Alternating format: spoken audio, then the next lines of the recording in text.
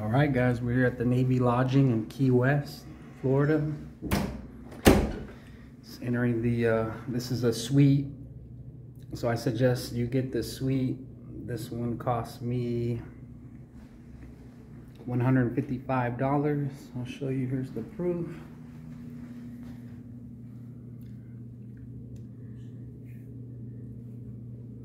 Here goes the rate, 155. So I highly suggest you get the suite. Comes with a sofa. Nice area to watch the television.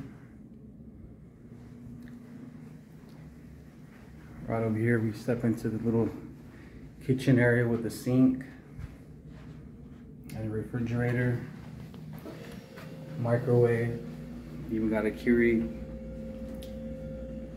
but yeah, I was looking up rooms and resorts here in Key West, and just to stay here is an arm and a leg. You're talking four, five, six, seven hundred dollars to stay in a resort per night. So when I saw that they have Navy lodging, I was all for it.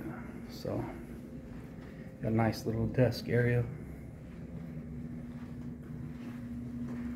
for those that need a fan when they go to sleep. There you go.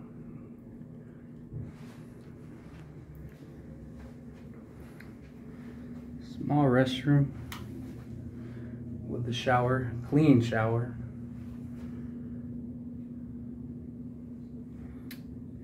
So you got to keep this place nice and clean. Because as we checked in, we saw a bunch of pilots checking in as well. So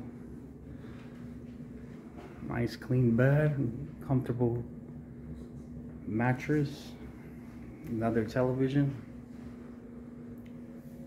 yeah, we were staying in Miami. So we were like, hey, we're just gonna drive over to Key West. And it took about three hours to drive. And it's not too far away from Miami. It's only about 180 miles, if that. But they have a speed limit, so that's why it takes you so long. So as you can see way over there, there's a cruise ship.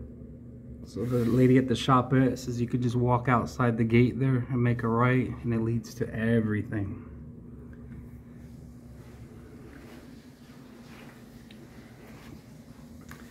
So yeah, if it's just more than two of you, just this living space area is so big, you can have a bunch of people just sleep on that sofa or on the floor, depending how many guests you have. There you go, let's go. Oh, you got closet area.